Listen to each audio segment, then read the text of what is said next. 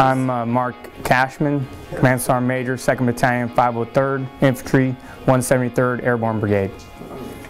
And my name is Lieutenant Colonel Mike Kloepper. I'm the commander of 2nd Battalion Airborne, 503rd Infantry, 173rd Airborne Brigade. We've had the opportunity to spend this afternoon with the Lviv Press Club.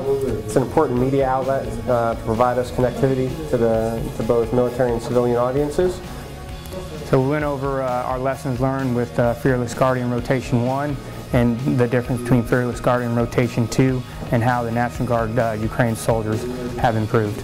But this training obviously symbolizes a much more important partnership between our nations and it symbolizes a commitment to security in Eastern Europe.